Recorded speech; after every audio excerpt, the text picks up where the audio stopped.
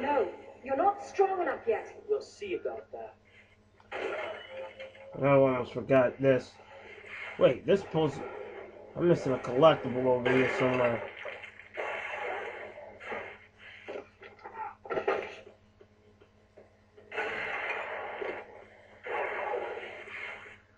Hey, Emma, don't even worry about that.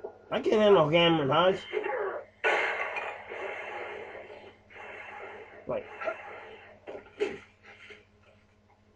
Purified propaganda. Turn up. Can't believe I only have to touch.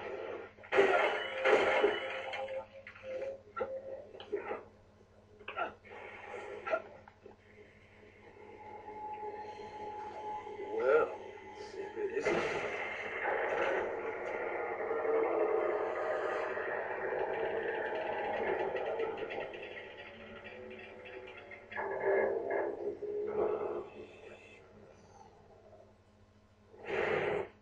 Uh oh. Here we go. Decision time. Hold on. Hold on. Think I'm practically almost almost low. Um, probably gonna have to stop it right here, here for y'all anyway. Well, well, not really. Right here. But uh, mm, probably gonna stop it right here for y'all guys. So, but when we get back. I got got got an assignment for the both of y'all. Which one would- you guys want me to choose in uh in um for X Men uh for X in X Men Destiny Let's play play um the Obsidian shards or the fortified barrier. Okay, Obsidian shards is you can throw shards or charged obsidian that sticks to surfaces enemies. These unstable pieces of black rock explode after a short duration fortified barrier. Wait, no. Ah, crap.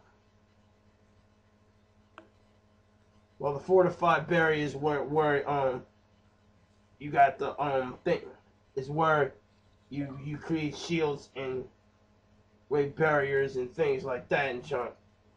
And I must have messed up on that, so so which one would you guys want me to choose even though it shows already? Fortified barrier or the obsidian shards.